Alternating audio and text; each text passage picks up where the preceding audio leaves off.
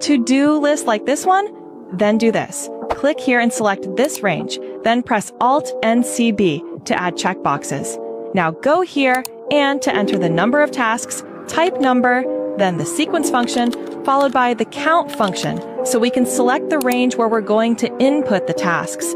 If we type something on the task list, it's going to automatically add the task number. Enter this countif formula to get the completed task percentage, and to get the remaining tasks, enter 1 minus the completed percentage. Here, make it equal to the completed percentage. Go to Home, then Conditional Formatting, and add Data Bars. Make sure to show only the bar, set the type to number, and put 0 and 1. Pick the color and confirm. Now select this range. Go again to Conditional Formatting and add this rule. If the checkbox is equal to true, then the format will change, the fill color will turn green, and the font will have a strike through. And that's it. We now have our dynamic to-do list in Excel.